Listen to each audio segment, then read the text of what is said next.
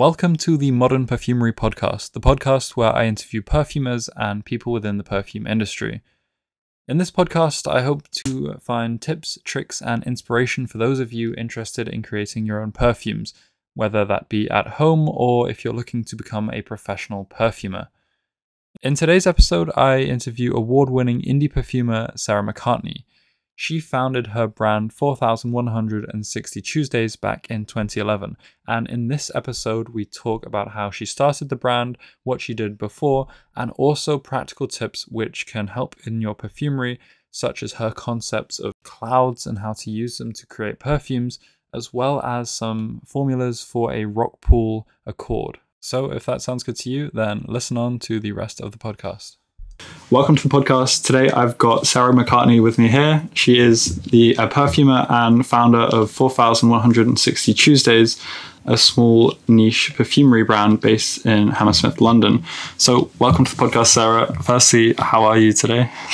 I am very well, thank you. Um, just set up a shop in Jermyn Street this morning. Very nice. Yeah, and I'm quite excited about that. so I'm extra, even more excited than normal today. How are you? I'm I'm good. I mean, you've invited me to your lovely studio, and it's very nice. And thank you very much for having me. You're welcome. Always welcome back. We like yeah. guests, and especially we like you. So tell me a bit more about this shop in Jermyn Street. Uh, what is it, and what exactly are you doing there? Well, fortunately, fingers crossed, we hope to sell perfume. Yes. That is our intention. It's always good is, for a perfume brand. I know, you hope, but it doesn't always happen, as you yes, know. Yes. So this is a great organisation called Lone Design Club. Yeah. LDC. Yeah. And they take pop-ups in very interesting places, and uh, you know London plus around the UK plus around the world. And they're in partnership with Crown Estate, who have, because of recent history, a lot of empty shops. Yeah. So they're filling them up with interesting stuff. Yes. So this is all independent brands. It's a, a conscious shopping event. It's at 23 Jermyn Street, which is posher than I could Very nice ever, location. Ever, yes, exactly. You know, you know that. You know yeah. well because Floris, yeah, uh, Trumper, yeah, um, Czech and Speake. I think are down there. The back door to Fortnum and Mason. Lots of perfume places, but young brands. I mean, ours is not that young, but not compared young, to but, Floris, yeah. yeah, we think we can how old is your brand? How old is the brand? The brand is uh, 2011, so currently so 11, 11, years, years, old. Yeah. When's your 11th birthday?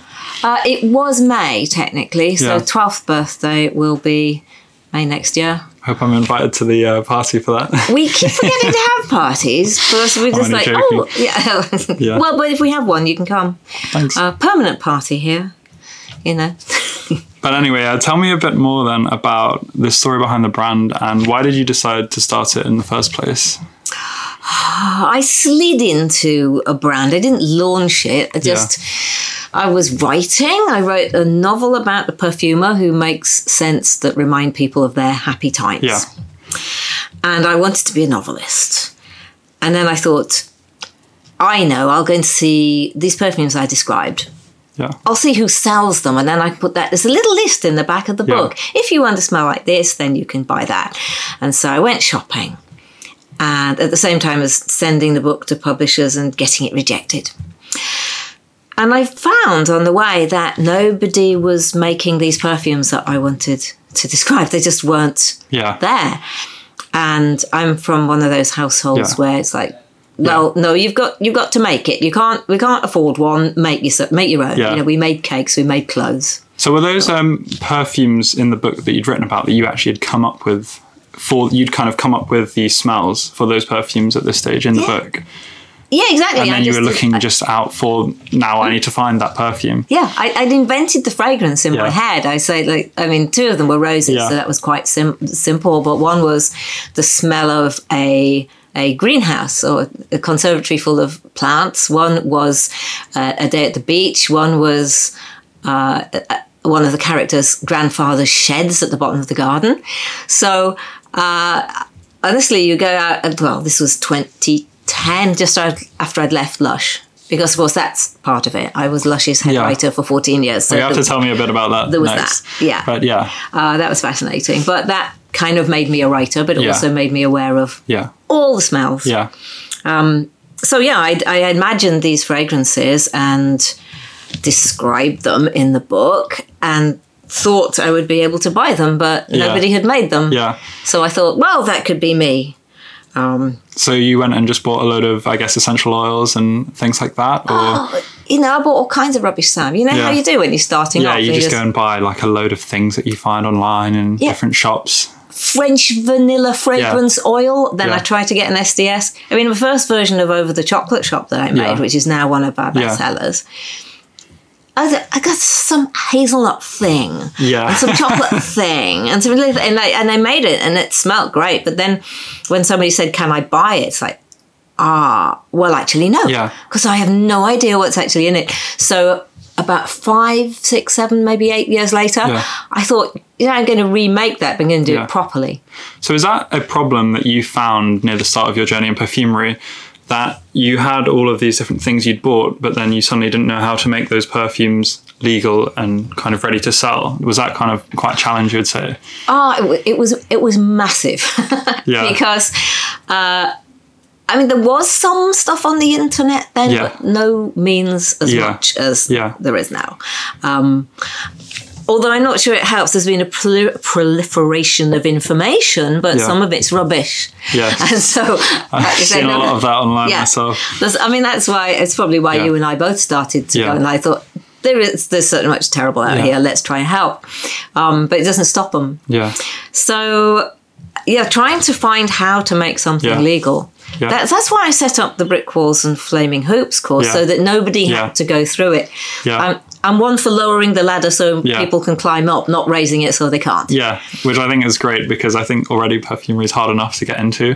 Mm-hmm. Um, so, about your courses, um, for people who are listening, some of them might be interested, given that I assume people who listen to this podcast will probably want to be making their own perfume. Um, Mm-hmm. what courses do you offer and what kind of problems do you hope to solve for people with those courses? Yeah, the whole whole range. There's everything from pop in on an open day and Yeah. customize one of ours Yeah, uh, to five day live workshops here. So Yeah. it's live plus I've got the big screen there so that people can join in. so this is kind of Zoom like a as well. boardroom as well as just a. Yeah, just exactly.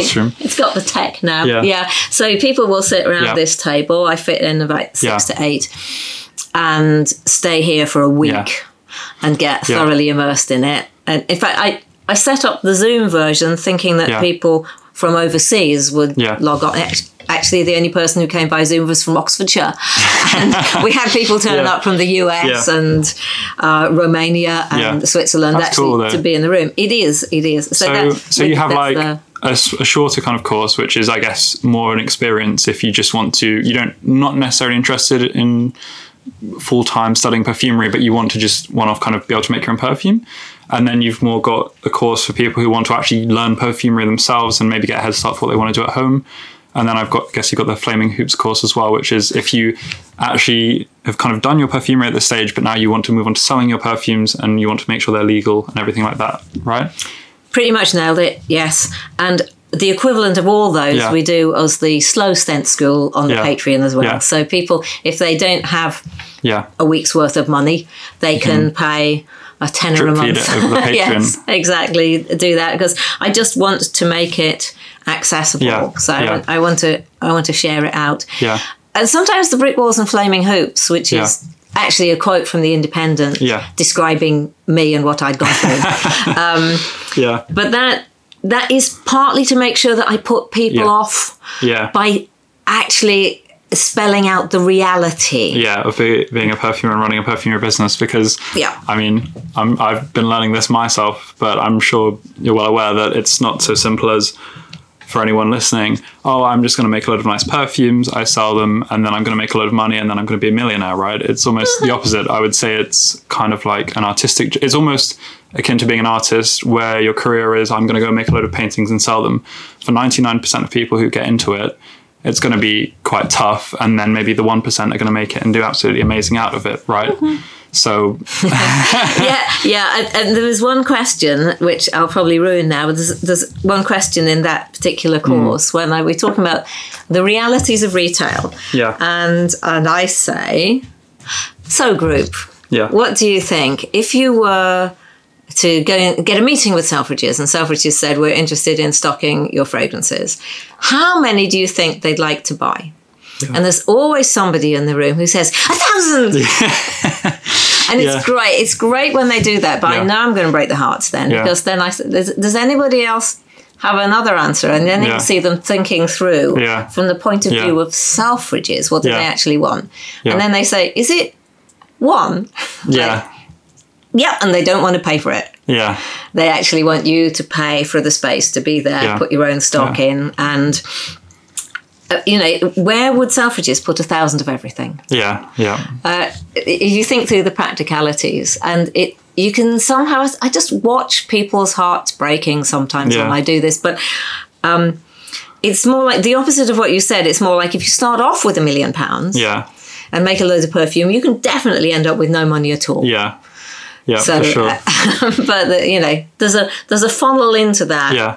Um, so, given that this is all so tough to break into, how did you manage to go from someone who just made your first kind of perfumes after writing this book to actually selling them and being able to kind of profit off them enough to build it into a full business? slowly Yeah. but also i had what what they call in my other favorite podcast startups.com Yeah. I had a long runway Yeah. Yeah. because if what you're doing is uh, making these things and growing it at the same time as Yeah. you're still earning money from something else, Yeah. then you might have a chance to take off Yeah. before you hit the end Yeah. and crash and burn. Yeah. Because you don't need to take off straight away. You've got a lot longer, Yeah. which so makes a lot of sense. I kept writing, Yeah. also, and I'm I'm happy to say, Yeah. as a warning to everybody, Yeah. that um, you know I'd rather have parents, but Yeah. instead I got half the proceeds from a house in the northeast of England. Yeah. And since it wasn't enough to buy a garage in Ealing, I thought I'll put it into the business. I spent all that. Yeah. It's all gone. Yeah. You know, it went um, on buying that time until I ran out of money. I did run out, Yeah.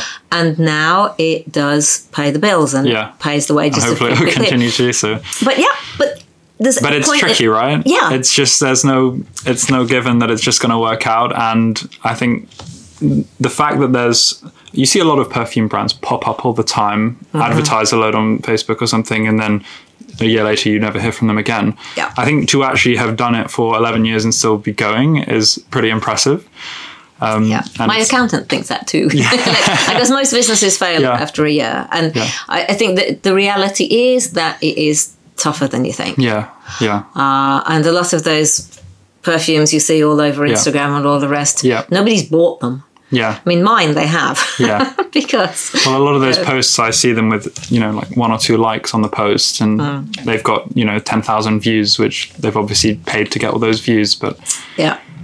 Yeah, and Yeah. It, it- and a lot of little ghost Yeah. Instagrams with likes and hearts. Yeah, and the fake accounts and everything. Happy things all over the place, and yeah, um, somebody's trying to build up enough Yeah. traction that to eventually, if they spend enough, the hope that eventually they'll sell enough to kind of make up for it. Mm-hmm. But I mean, shipping's difficult. Shipping overseas, you know, uh, getting into retail is difficult. Just getting that traction, getting the the momentum. Yeah. And every time you think you've pushed it up the hill and you're onto you're onto the plains, and you Yeah. can just push it every now and Yeah. again, it'll roll. Like, You find there's another hill. Yeah. So I mean, the world just launches stuff at you at the moment. But So, anyway, aside from the business side of things, Yeah. moving back to actual perfumery hmm. itself, when you were kind of teaching yourself, how how did you actually manage to find good information out of this kind of sea of bad information? What was your kind of process for actually managing to successfully teach yourself perfumery? well, I tend to say that I didn't. I'm not really self-taught. I just Yeah. learnt from people who weren't there at the time. Yeah, yeah. I found good books. Yeah, I think for learning perfumery at this stage, given how little content there is on the internet, Mm. there's a few books which have some really good information in them that you can learn a lot from if you're willing to kind of put your head down and study it. Yeah. And my absolute favourite was the Calkin and Jellinek Yeah. book. Yeah, me too. I love that one. Yeah, it's just great. And, Yeah. and it's so beautifully written. yeah, and even now I keep going back to it and understanding more than I did as Yeah, I was going yeah. along. But my first teacher was Karen Yeah. Gilbert. Yes. Yeah. And I went to three of Karen Gilbert's courses, and you know, that was just like a trampoline. yeah. run, run, run, run, run, bounce, way. Yeah.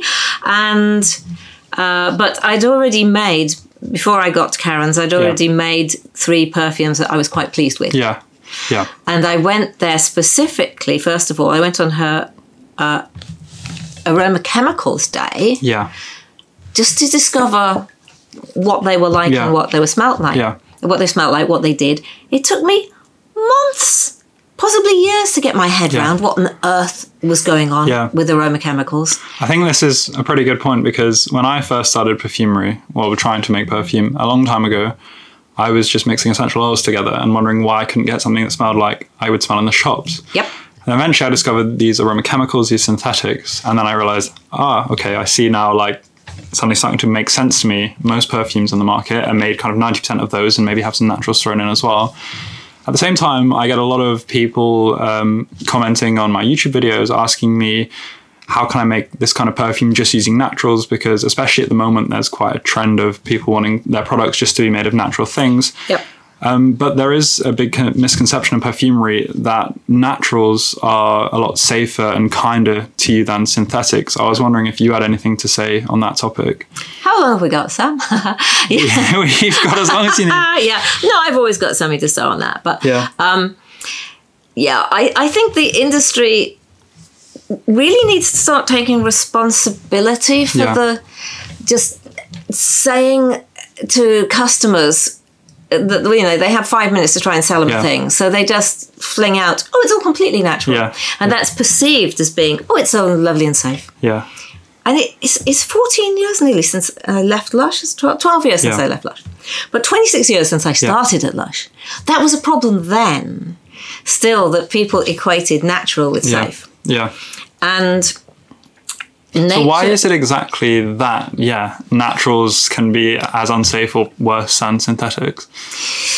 Well, nature makes essential oils not for us to put in Yeah. perfumes, but to defend the plant Yeah. so the next generation can survive. Yeah. So essential oils are basically they're they're nice mm. aromas to attract insects. Yeah. So they can get the next generation of plants. Yeah. They're also built into petals, woods, and particularly the seeds, all the Yeah. spices, to defend Against against things attack. eating them. Yeah. Yeah. So the pith, Yeah. uh, the, the well, the the rind on citrus fruits, where we get all the essential oils from, uh, peppercorns, cardamom, you know, everything that's a seed. It's basically chemical warfare. Yeah. There's unbeknownst to us, just all happening kind of in the Yeah. plant world. Yeah, exactly. And it's to try and stop insects, to stop mold, to stop. You know, they're Yeah. antibiotic, they're antibacterial, not for our benefit, but for for the the benefit of themselves. Yeah. Another thing is, right, in nature, the actual concentration that you'd find these essential oils is hundreds of times lower than when we distill them into this kind of pure and kind of concentrated form. Yeah, I mean, it's not natural for a million rose petals to leap into a distillery.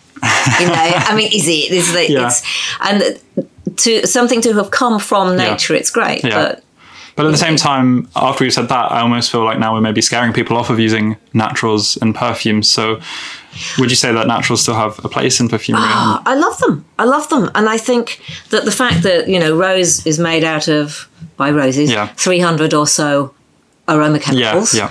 and actually some chemicals which don't have an aroma, we don't even know what they're Yeah. doing. That might be the reason why rose is rumored to make people feel more confident and Yeah. peaceful. So, but maybe one day chemistry and biology will explore this and explain why. At the moment, we But just for now, we we've got know. the choice between something that smells almost like rose or the real thing, which is lovely. And the other thing is that, of course, the regulations which uh, govern Yeah. perfume making make absolutely Yeah. certain that we do not use any of these things Yeah. at quantities that are unsafe. Yeah. So we have restrictions to work with, but it's only because if these things are allowed out unrestricted, they can do damage. Yeah. So, you know, for me, taking the naturals, which are, is always going to smell like Yeah. someone Yeah. dumped you into into a spa for a massage. It's never going to smell like a perfume. Yeah. But uh, Mm, unless if well you can get into isolates but that's a different story but to use the synthetics to open them up give them some Yeah. life the stuff that they lost being Yeah. thrown into a distillery Yeah. that's when you start getting something that actually smells like perfume Yeah. So anyway, going back to um, your days at Lush, which you mentioned, oh yeah 14 years is quite a long time. Um, would you say that that, even though you were writing at the time, would you say it helped you later on now that you become a perfumer? And if so, kind of how? it helped me to learn interesting things about running a business Yeah. because lush was essentially a startup Yeah. it's a big startup Yeah. but it was it was something that was started from the ashes of a previous business that went Yeah. out of business painfully I didn't know that. yeah cosmetics to go things just went horribly wrong for them Yeah. it's it's in a book it's not Yeah. a secret but they started again just knowing that all they'd ever done was run businesses Yeah. and that's what they knew how to do so lush grew out of cosmetics to go Yeah. and so I mean their their attitude towards not using packaging, not Yeah. not wasting anything was really great. They didn't have loads of money. Like. There's so many startups, like say the ones that come Yeah. and then they disappear. They've got funding. Yeah. They want to start from scratch with the best possible packaging. Lush were just wrapping things in whatever they had Yeah. around, and then when they could afford it, they do something better. And I liked that. Have also- you, um, would you say you took inspiration from that in your own business? Because I know that you've done quite a lot of experimentation with how your packaging can do things like be refillable or not use too much of things. I, I liked Lush in the first place because I never liked waste. Yeah, yeah, I was, you know, as a child, you know, I was Yeah. brought up the, the, the whole seventies ecology Yeah. movement. I was steeped in Yeah, that, so I came through that being horrified by the eighties and the wastefulness, yeah, and and to to come back into an era, and particularly into a company where they genuinely thought things through about, you know, should we put the price up of this, or or should we? Because the the Canadian director at the time saying, put the price up, put the price up, charge as much as you can, build value, and they're going, no, I don't think we need to. I think this is fair. I thought that attitude to business I really liked.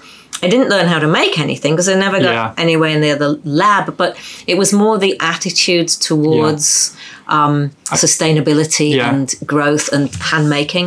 And I assume you would have been able to actually get an idea for what consumers maybe liked after doing that, or Uh, to an extent, I think what I really learned that was of value was asking people. Yeah, yeah. And but even more, not just Yeah. asking and seeing what they said, because Yeah. everyone will say, "Oh yeah, I really love it." yeah, If you put something out, uh, one thing that they used to do at managers' meetings, which I Yeah. absolutely loved, which is, he said, it's really kind of Yeah. rule breaking. And Yeah. I love breaking rules. Yeah. Regulations, good, rules, bad. yeah, But they would leave out a pile of the, of the new products at Yeah. the managers' meeting, leave them overnight with the rooms unlocked. And the next day they would see how many had been nicked. and if there was one product that Yeah. was all still there and nobody had nicked it, they wouldn't bother launching it. yeah.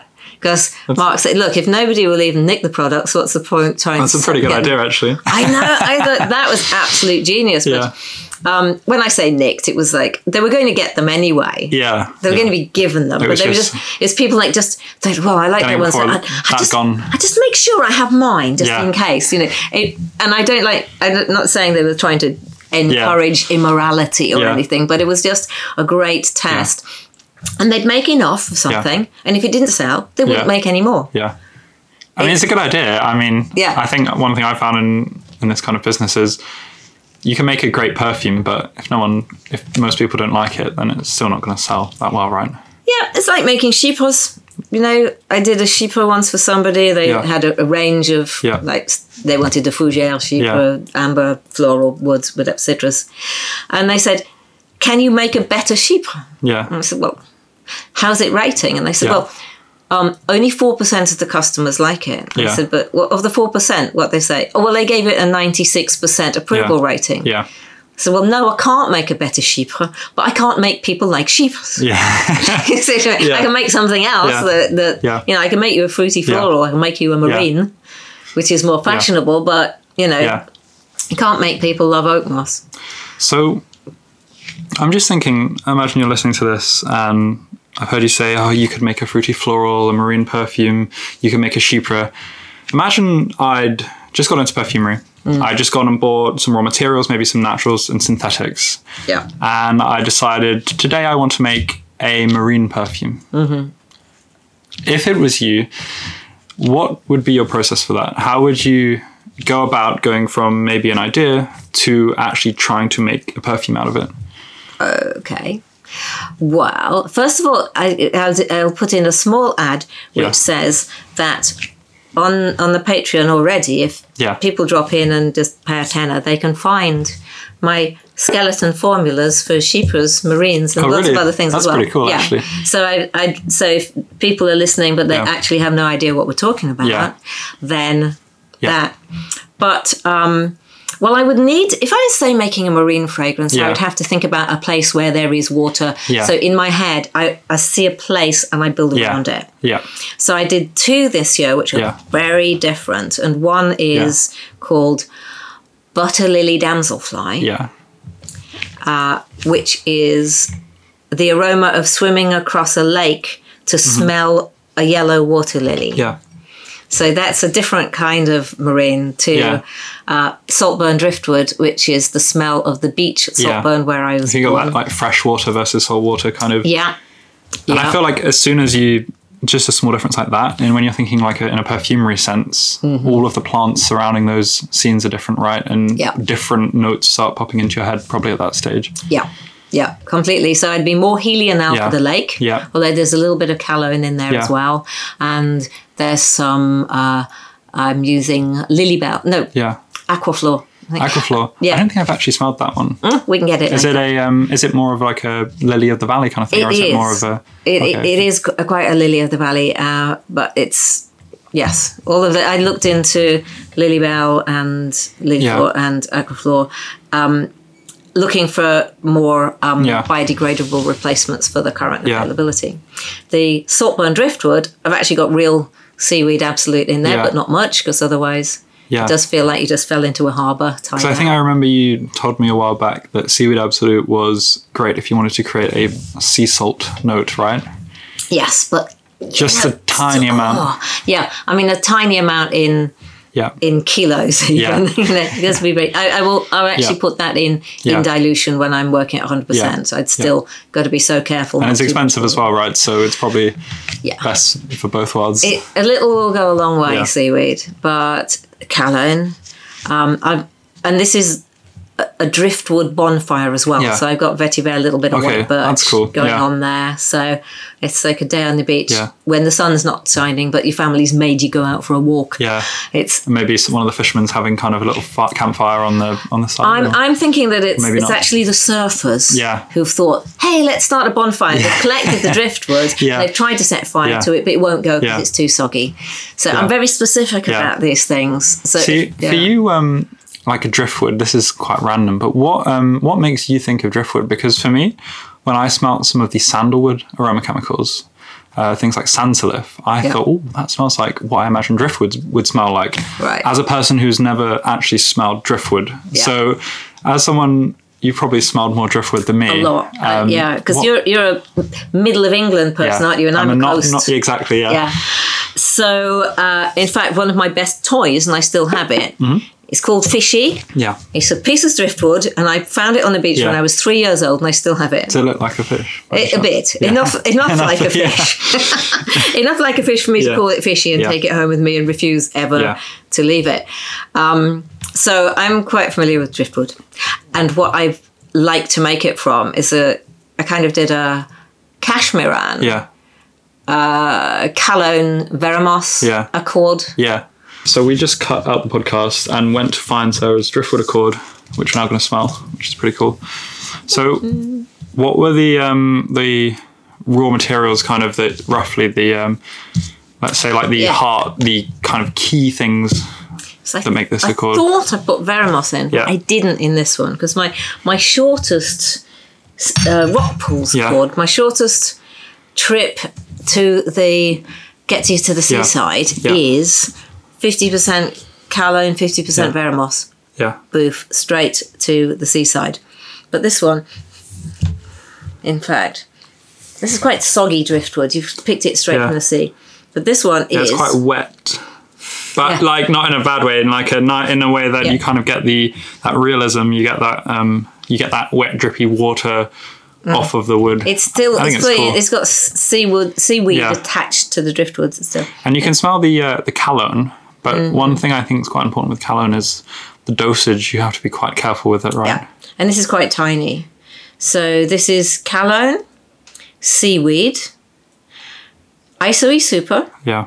clear clearwood, dreamwood base, Cashmeran Velvet, and amyris in this. It's pretty nice. You know, I like it. Thank you. I like it. I'm quite fond of it. And as a seaside person, Yeah. See, I have this theory that wherever you were born, the first Yeah. the first breaths you took Yeah. imprint Yeah, on you, and that's where your I see home is. Or at least like uh, especially in your childhood years in general, right? Your the kind of places you go and things like that. Yeah, yeah. So I'm I'm just Yeah. if you have if I haven't been to the seaside for a Yeah. while, it's like I need to go there and breathe. So is that would you say like if you had kind of a one place or one kind of biome that you had to keep all of your I don't know all your olfactory memories kind of to would you say that's kind of the one where you feel most at home kind of by the sea? I would. Yeah, Yeah. yeah. If I had to pin it down, I just keep making Yeah. fragrances that are at the seaside. Yeah. Have you got any of your actual perfumes that Well, I've got a load of them here, but none of them Yeah. are actually none of them are the seaside ones. But One question I did want to ask you is what is your favorite perfume that you've made? and that tends to be this answer. It's it's Tokyo Spring Blossom, which Yeah. I made very early on, Yeah. 2011, before before we technically launched Yeah. like legally. I made it was called Urara's Tokyo Cafe, and then it tends to be the one I made most recently because Yeah. I get really excited about Yeah. it, and then there'll be something else. It Yeah. slightly alternates. Can we smell it? Yes, we can smell. Um, I'll do Tokyo Spring Blossom. This is the one which got well. Jo Fairley, who Yeah. set up Perfume Society, wrote about this Yeah. after she was at an event I was invited to with Lizzie Ostrom. Lizzie Yeah. Ostrom's Odette Toilette's scratch and sniff events, early days, and um, I had made this for a fundraiser Yeah. which took place in Tokyo Yeah. for uh, children orphaned by the tsunami. Yeah. Um, and it was called Urara's Tokyo Cafe Yeah. because that's where it took Yeah. place. It's nice. I definitely get like a pink um like a pink vibe from it, you know, like a blossomy vibe. Yeah. Yes, it's It was quite like an iron heavy fragrance to me. it does have ionones. It's got geranium. It's got rose. Oh, I Um, can smell those now you say, yeah. yeah, my favorite grapefruit and mandarin. Yeah. I was just using grapefruit and mandarin or tangerine at the time and everything, Yeah. and just loads of balsams. I Yeah. just discovered opopanax. Oh, I haven't even smelled that myself, to be honest. Oh, you're gonna love it. yeah. So uh, it's so curious. yeah. Um, I, It's nice, you know, I like it.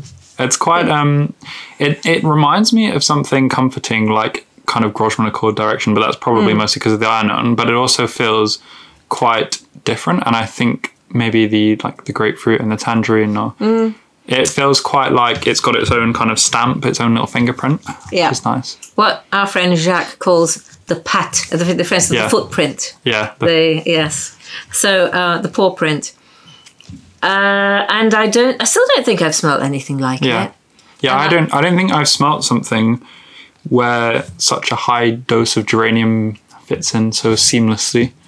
Yeah, it, Because in this perfume, it really works. Whereas a lot of them, I make, I think it makes it feel like the really generic, old-fashioned fougere. And this is But in this, is completely different. Yeah. I, geranium plus opopanax and Tolu Balsam. I mean, I, I was making things out of what I owned. Yeah. Yeah. And, uh, you know, sometimes I think that before I knew anything Yeah. about making perfume, I was making better Yeah. perfume. I think sometimes in perfumery, right, not knowing the the rules Mm. of how much you're meant to use certain things at or which things you're meant to put together, Yeah. you can come up with some really cool things. I think you make a lot more things that smell terrible, but when you make something that smells good, it's completely different, right? Yep. And then, then somebody says, no, but you can't put that with that. Yeah. And you say, but but I did, and it smells like this. Yeah. And, they, and then you get that. Yeah. Um, something a lot more conventional. This is the one I thought about Yeah. for five years Yeah. and then made it in one go. Made it in one go. Yeah. so it exists. I've got it's in the book. Yeah. I mean, I can. And one thing I want to um, want to mention as well is I do think personally that as you become better at perfumery and you make more perfumes, what when you were a beginner would have seemed impossible, you could do like loads of different experiments and just never get anywhere close. When you gain that experience and you've smelled a lot of raw materials, suddenly you can make the connections in your head and sometimes just make something Yep. suddenly right and it smells good. Yeah, I think it's the way that you can compose music in your head uh, after you've learnt to Yeah. play an instrument. Yeah. Yeah. But you know, so when people first start trying to, Yeah. you know, they get a guitar and they try to write Yeah. songs and they're going. Plunk, yeah. but then after a while, you can write Yeah. a song and then come back and play it on the guitar. Yeah. Um, so this, I wanted to make a citrus Yeah. of the style. I don't Yeah. copy things, but I wanted the feeling, the texture, the excitement that I got Yeah. from wearing them, like in the seventies and Yeah. eighties.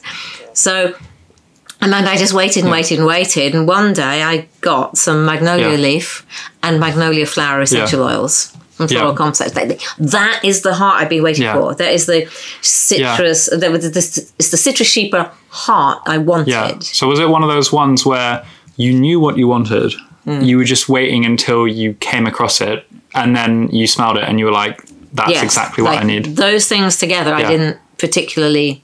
I wasn't particularly attracted Yeah. to the individual aroma of the magnolia yeah. flower or the magnolia leaf. Yeah. But together, Together, they I just knew they would make the heart of Yeah. this fragrance that I'd been That's so waiting cool. to to fill up. Yeah. So, five, and, and I didn't know it was five years, but Yeah. somebody.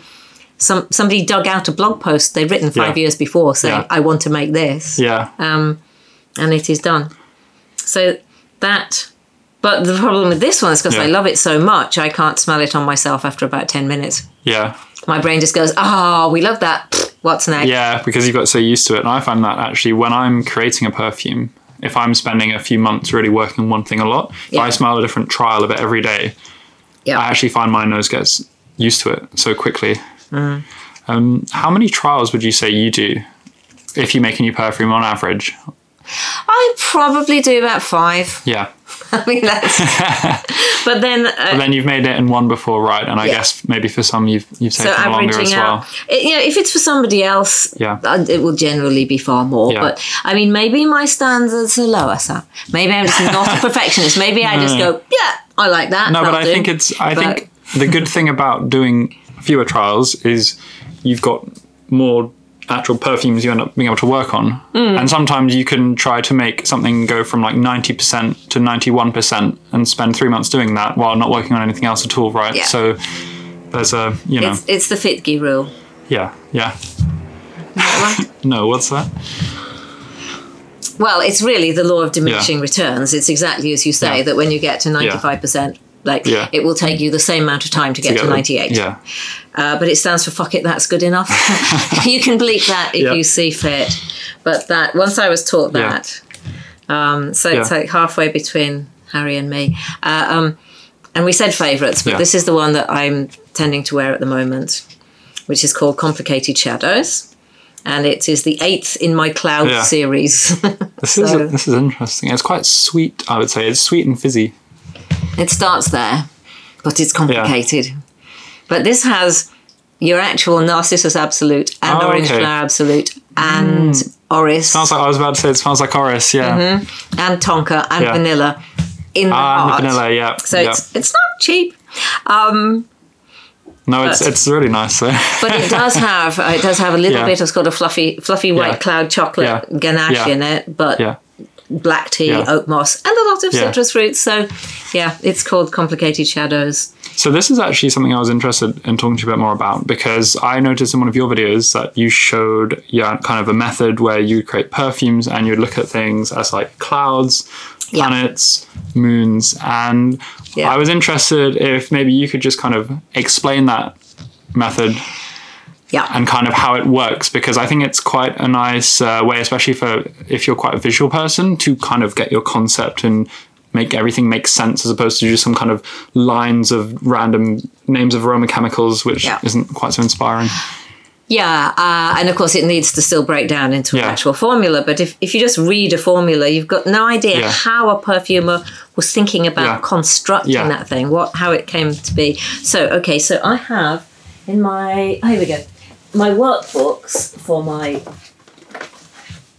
few day courses. There are some uh, pictures of these in there, and let's find one. Oh, what I'll do is we can show it now quick, and I'll take Okay. a picture of it maybe later. And Yeah, okay, so Dump it in. sort of looks you can't Yeah. you can't see it from there, but um, so it's like a solar system it's a solar system with, with, sun clouds. in the middle and some planets on the outside, and then some big kind of nebula clouds. Let's call them. Yeah. On the Yeah. on the out of that. Which maybe I should have called them Yeah. nebulae instead of clouds. But, But um, so what? Yeah. How does it work then? how it works is I try and get people to think what would be what is the reason for being of the fragrance? Yeah, like what, the heart, is its son? yes, it's like it could be its heart. Yeah, what is its reason? So if it's it might be a rose perfume. Yeah. So you start with, With that. rose because it's a rose perfume. Yeah. You put rose in the middle. and you might be doing lots Yeah. of other things Yeah. with it as Yeah. well. Or it's if you want to make it a chypre. Yeah. So then you make yourself Yeah. your your center. So your sun is going to be uh, oakmoss, bergamot, Yeah. patchouli, labdanum, opopanax, Yeah. whatever you make your You just sheet pick one core theme. It could be either a single note or a, a chord like that, And right? it's been I've made a driftwood Yeah. one. The driftwood has been Yeah. at. There's been the Yeah. sun. yeah. So that's then So you you would think take your driftwood accord and put that in the on the page. I guess you would write maybe draw it in a circle and Yeah. driftwood accord, and that's your I'd put it in the middle and I think, what else do I want to Yeah. add to this particular Yeah. fragrance? Now, it might be that the driftwood is all I want in the fragrance. I in might just case, release just it. Yeah. Yeah. Uh, and perhaps, I mean, that particular driftwood accord already has some Yeah. Isoi super. Yeah. And Isoi super used in a small amount is a material. Mm-hmm. Yeah. If you use it in a large Yeah. amount, that's when it turns into a cloud, cloud. for me Yeah. because it's not just there for the aroma it's not just there for what it does it's there for the texture Yeah, like the and- structure, yeah the and the, the effect that Yeah. it has on the rest of the materials it's there to be a booster So, is it like any material you could use as one of these clouds if with enough dose, or is it only kind of maybe a certain few or you can't things? use anything because um, something like cardamom say Yeah. you put a couple of drops also seaweed in Yeah. it. you, you, you can put tiny bit of seaweed Yeah. in I would normally have seaweed as a moon, Yeah. Okay. so there's a little Yeah. bit, just just delicately, Yeah. a, a tiny amount. If you think, right, I really want to make this into a seaweed Yeah. fragrance, you still only need two drops. But then it could still be your sun, maybe at Yes. that point, right? Yeah. Yeah, exactly. That's going to be Yeah. still going to be a tiny amount. Clouds. Are, do you know about the low slope of psychophysical function? Surprisingly, Yeah. I've not heard of it. Well, it is buried away in like one one uh, Yeah. paragraph in Calkin and Jellinek. Oh, okay. Maybe And I, should have. Maybe I should have known that. Well, no, because Yeah. you, you, that's the great thing about Yeah. those books is you come back and You- keep discovering new it, things. yeah. and you think, oh, that's what it means, Yeah. and it's a logarithmic function, Yeah. so that if you put say ten percent this material in, fine.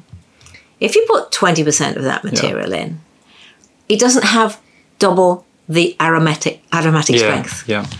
It has about one point zero one Yeah. effect Yeah. aromatically, Yeah, yeah. but it does other things. Yeah. So the low slope of psychophysical function means as you put more and more and more in it, humans still don't really notice it. Yeah. it they, you put Yeah. more in for other reasons. Yeah. Things with massively high slopes, like say cardamom, Yeah. buchu essential oil. There are things where you put one extra drop in, you just go, "Oh Yeah. no, I've ruined it." Yeah. Um, those are high slope Yeah. materials. And it is the, the psychophysical Yeah. part is the physical is how much do you add? The psycho is how much do we notice? What do we perceive? Yeah. So for things like ice super, you're saying there's a low slope, so Low you can get away with adding a lot. Yeah. And when you actually do that, you don't really smell a load of ice super in your perfume, but it creates this perfumey effect that binds everything together Yep. and it makes it work, kind of thing, right? Hedione as well. Yeah. You so know. you would say Hedione, Ice Super, Most of the musks. musks. Um, to an extent, vanillin, because once you put Yeah. vanillin in, you'll notice it, but you Yeah. put three times as much vanillin in, it doesn't smell three Yeah. times stronger. Yeah. Though I notice with vanillin, I don't know if you get this, if I make the vanillin dose quite high, Mm-hmm. it can start to smell like sickly sweet on my skin.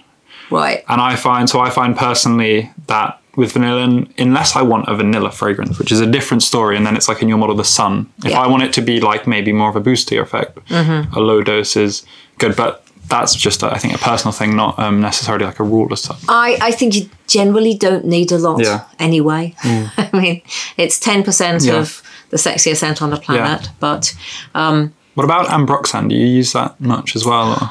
I do, but I find that uh, I had an experiment once. Somebody I- I've never done more, more than like five percent ambroxan in a fragrance because one, it costs such a lot, and two, you yeah. don't need a lot to do what Yeah, it does, which yeah. is, I mean, my my secret secret is Yeah. it, it's not actually mine. It's um, Yeah. Carlos Benaim's, and it's bergamot and ambrox Yeah. are seem to be the secret things that do the Yeah. diffusion and the Yeah, yeah. longevity. So, but ambrox, I normally have around about kind of two percent, Yeah. but I sort of almost like treat it as a cloud. Yeah.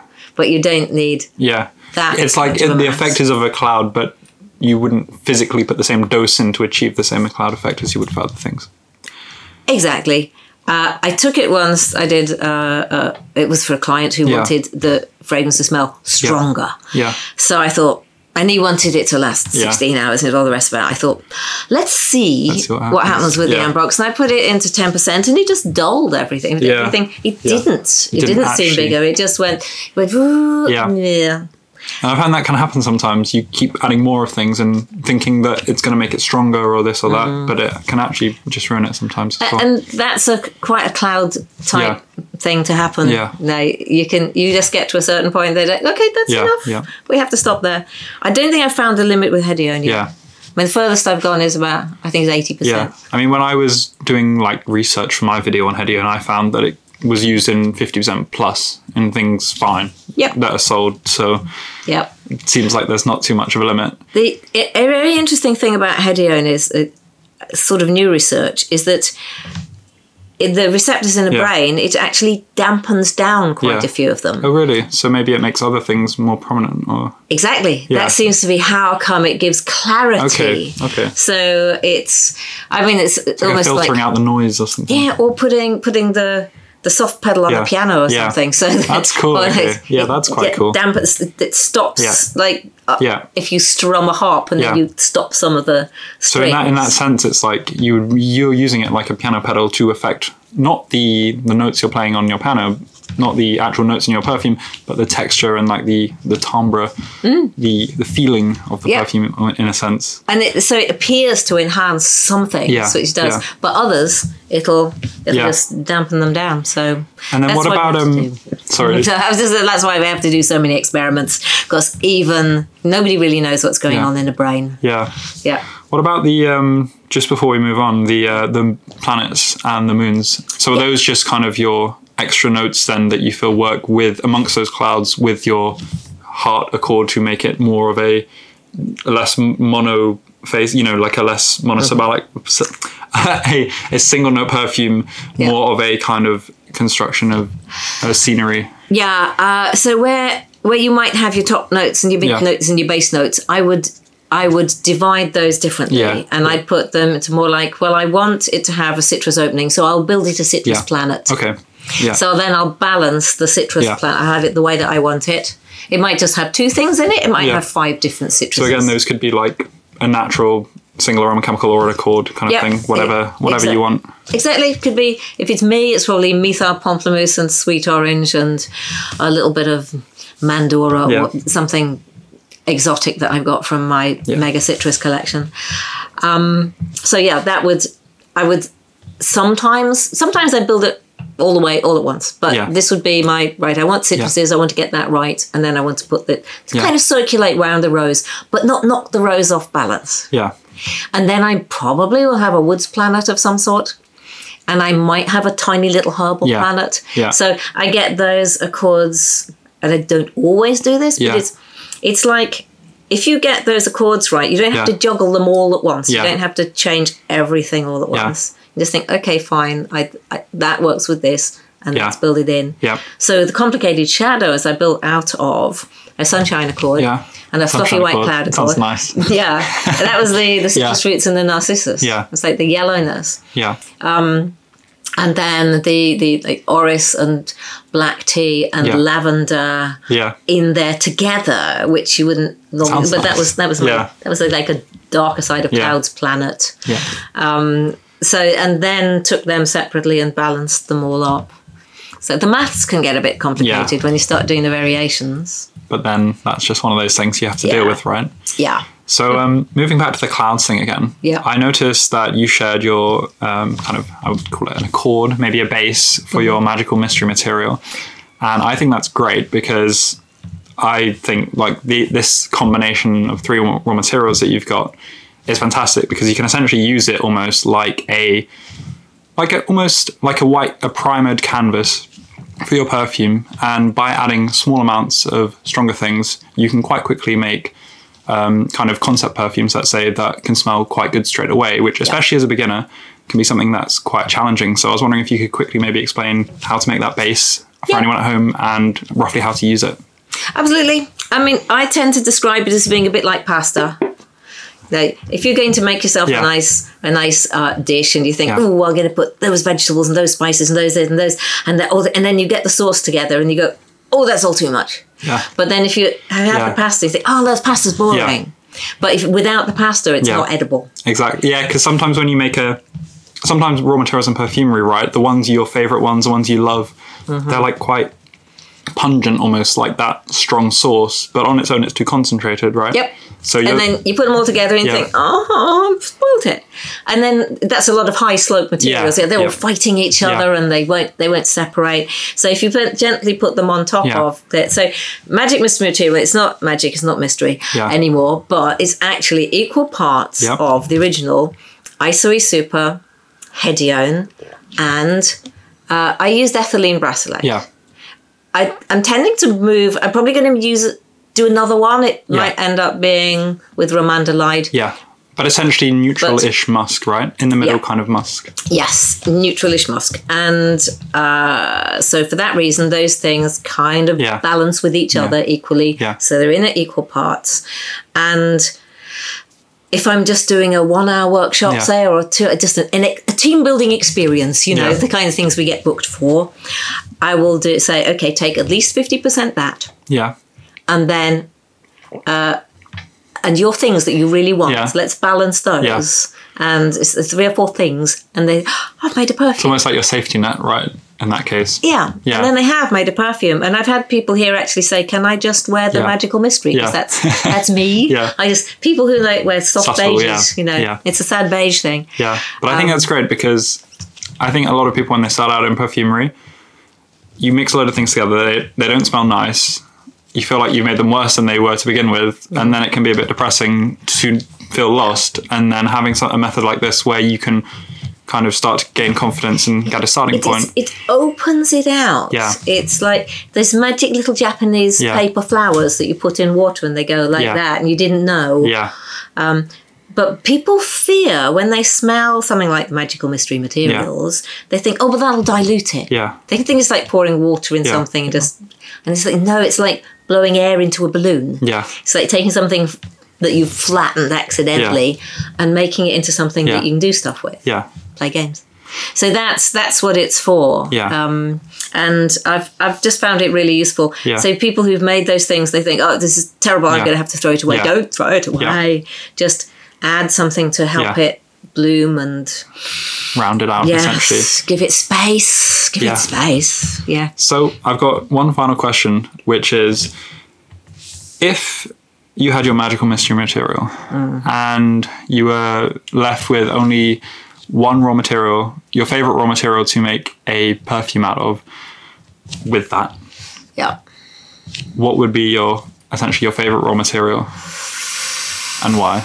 Wow. If I could get it, I would use the um, raspberry leaf absolute I originally got from Hermitage, of Yeah. which I have. I have. I have some of that as well, but it was like a tiny one milliliter kind of thing. I've got a little bit left, and it smelled so much more jammy Yeah, and yeah. fruity than the current ones I can get. The ones currently smell a lot more leafy. Yeah. And I, I felt the yeah. um, when I smelled it, it was funny because it was like the scent profile wasn't a linear thing. For me, it was quite jammy to begin with, Mm. and then kind of quickly dropped off into the leafy. After the top note bit had gone, it Mm. it was like a dried leafy kind of smell. I don't know if you had the same experience or Well, I hadn't kind of worn it by Yeah. itself, I suppose. So around uh, that was just on, on a on a scent strip. I left strip, it for you know a few hours and kind of watched what happened to it. Yeah, I don't remember. It's such a long Yeah. time ago since I did. That. Yeah, But yeah, I've got notes somewhere from Yeah. 2011 like what Yeah. it smelled like when. I used when I did that. Um, but yes, otherwise, if I couldn't get that, I'd probably use Rose Ultimate. yeah. What's Rose Ultimate? Is that a base or is that a? Uh, is that It's a uh, natural or- upcycled natural rose from Yeah. LMR Naturals. Yeah. So it smells just like Rose Absolute. yeah, But it costs less and it's the leftovers. It's the second pressing, Yeah. like the second usage of the rose petals, Yeah. which used to be dumped as compost. that sounds And- quite like a good deal kind of thing, you know. It's a very good upcycled green Yeah. Way of using roses. And uh, Maybe both of those together would be nice. You know, the rose with the raspberry. leaf. I feel like raspberry and rose are quite a nice pink. I have raspberry and rose in almost everything I make. For myself, I just Yeah. start with that. If you said I could have two, that's what I would Yeah. have said. and then the third one, I probably would have put opopanax in. A puffinax. I still haven't smelled that, so Mm. You will. have to convince you to let me It's smell some. But It's not far. oh, can we smell it? Yeah. Quick before we go. Yeah. I hope there's battery left on the camera. I hope so. Oh, for a Popanax. Here we go. Oh, for I haven't smelled um cop- copia balsam. Copaima. Copia? I don't know how you say it, Apocanax or there's another one of Tolu balsam. Oh, okay. Balsam. So I've, I've Let's done start terribly with in the this. balsamic. Um, eh, what do you call it? Department. Yes. on the, the balsam shelf. Yeah. Yeah. Okay. Are you ready for this? Ready? Oh, interesting. Hmm. It's like kind of reminds me of myrrh a bit, Yeah. with like a kind of tonka bean aspect. It's like petrol kind of note to it as well. A bit of like that labdanum kind of ness, but not the sweet side. More like It's leathery. known as sweet myrrh, but it's not a myrrh. yeah, And what's great is that you're smelling it now that you have lots of experience. yeah. I smelt it as one of the first things I smelt Yeah. alone. And what did you think when I you? thought, I don't know what's happening. it's, it's odd though, isn't it? it reminded me of some kind of childhood cough medicine as well. Hmm. But it is odd. It's it's got some gluey stickiness going on. As you say, the kind of because I think um, It's like a vanilla element, but there's this kind of like plasticky side, right? yeah, there's a plastic doll's head thing going on. Interesting. Yeah. I know, it's just, it's Yeah. just so much happening in one tiny bottle, isn't there? But Anyway, that's so that. thank you for coming on the podcast, and it was lovely to smell everything and chat to you. And I'll put links in the description to your course and your page, so if anyone listening is interested in checking that out, then they can come and find you online. And yeah, thank you very much. Thank you. That is kind, and it's always delightful to have you here.